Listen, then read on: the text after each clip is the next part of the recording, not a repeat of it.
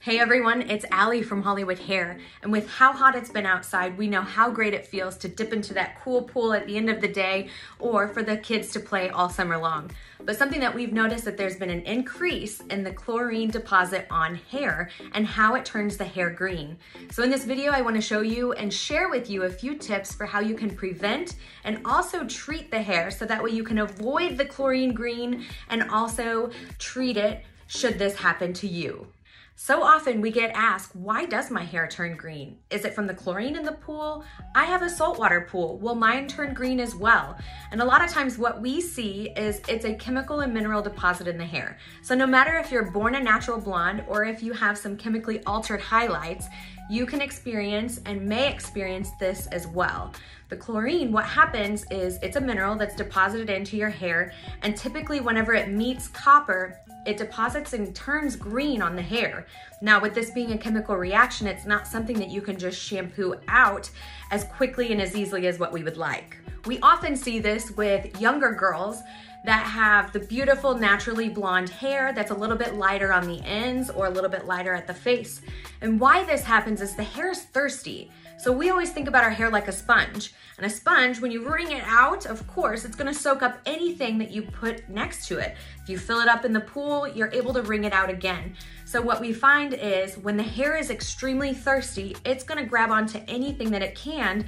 And in the pool, for instance, that's gonna be that chlorine buildup that's gonna show a greenish hue that you will notice in your hair.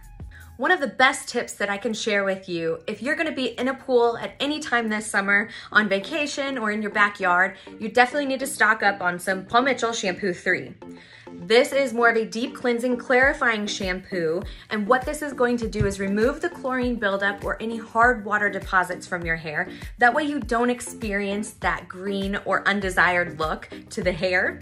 But it's also a clarifying shampoo. So anytime that we extremely clarify anything, we need to follow it up with hydration. Our hydration for this follow-up is going to be our supercharged treatment.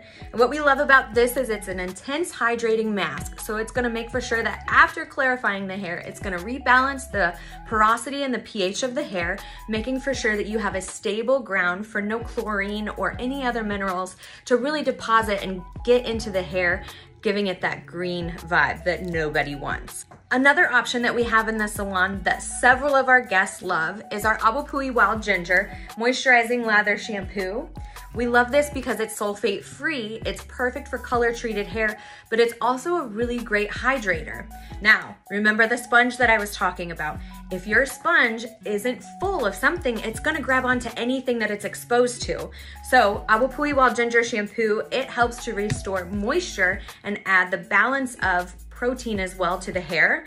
And those are the two things that we need for happy, healthy hair. That way other outside elements aren't being absorbed into the hair strands.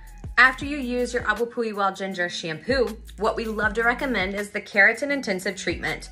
This again is going to be a deep hydrator for your hair. It's gonna help restore a little bit of protein and a little bit of moisture back into the hair. So that way you don't have so many potholes, if you will. Potholes that happen from daily styling, shampooing, free radicals in the environment. And just because all of this on top of our head, it's just dead. So we have to make for sure that we keep it on an even playing field with some of the keratin intensive treatment. Now, whichever mask that you choose, these are gonna sit on your hair for about five to 10 minutes. Give it some extra time to let it really saturate and do what it's meant to do. After you wait about five to 10 minutes with either of the deep conditioning masks on your hair, you will want to rinse and then follow through with your styling products that you would use. So now you know why things happen, and now you know what to do if it happens, but how do you know which one to choose? If you are a guest that is looking to spend under $50, I would most definitely go home with the Shampoo 3 and the Supercharged Moisturizer. If you're okay spending a little bit more and you feel that your hair needs a little bit more moisture and a little bit more strengthening, then I would for sure recommend the Awapuhi Wild Ginger. Okay, Allie, I hear what you're saying, but it's too late. My hair is already green. What I would then recommend is that you make an appointment, come into the salon and get one of our post swimming hair treatments. What we're gonna do during that treatment is use a clarifying, clarifying shampoo.